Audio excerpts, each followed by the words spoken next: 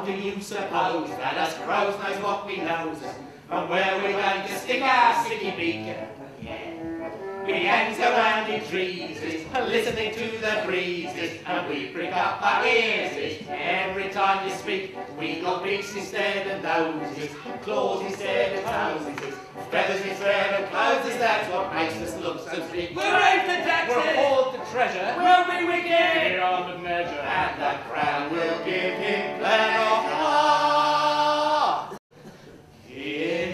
last about six weeks.